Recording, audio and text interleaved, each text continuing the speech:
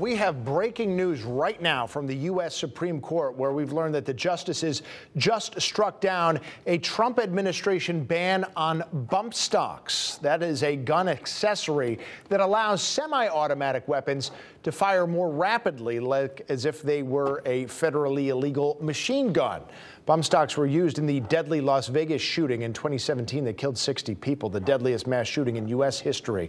Now, a Texas gun shop owner challenged the ban arguing that the Justice Department wrongly classified these accessories as illegal machine guns. Just for some context here, they were invented, bump stocks were in the 2000s, and initially the, uh, the ATF, the Alcohol, Tobacco, and Firearms uh, Bureau, did declare them to be legal, but at uh, Trump's urging after the Parkland, uh, Florida high school shooting, uh, they were reclassified. And again, the Supreme Court declared that they were illegally reclassified.